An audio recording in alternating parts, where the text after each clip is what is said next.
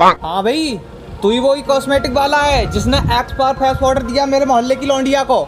दिया तो मैंने था लेकिन एक्सपार्ट है तो इसका मुझे नहीं पता। अबे तूने एक्स पार फेस पाउडर दिया तो है उसे।